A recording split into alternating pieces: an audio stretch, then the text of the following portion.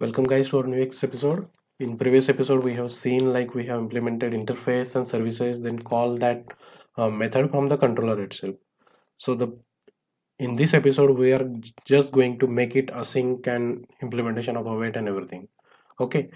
So you might remember like this is an interface which we have started. So this is returning the return type you can see it's a simple list and it is having the simple int. Okay? So let's create a task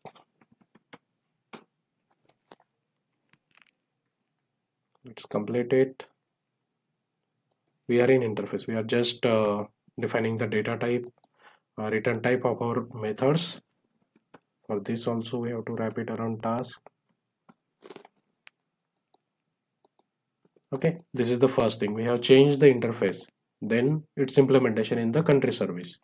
So if you, if you now can see because we have changed the declaration in the interface now it is asking us to it doesn't match we don't have the matching implementation in the country services. Okay?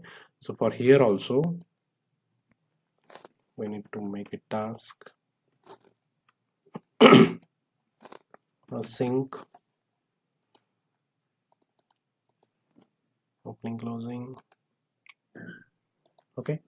And since this method is going is getting called as an async if you can see we will we have got the warning like it should have a await so wherever we are actually calling the database or anything so we can make it as an await.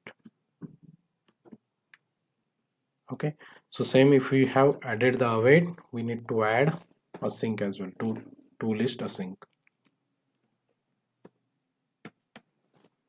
okay? So for this you need to add one namespace. That is entity core okay? So this action is is now async with async and await okay?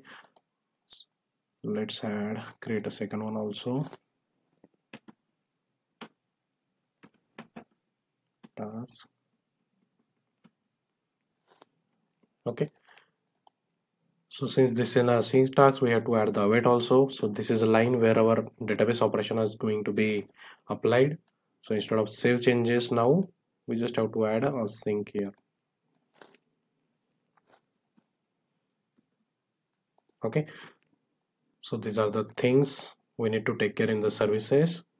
Then let's go to controller. Okay? Here also we need to do the same thing. Async and create a task.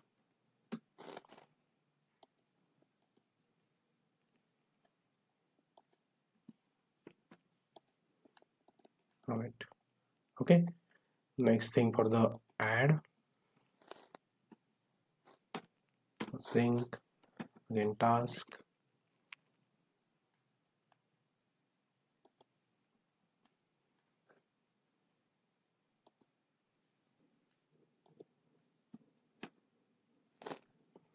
We just need to store the re response in one variable so let's do that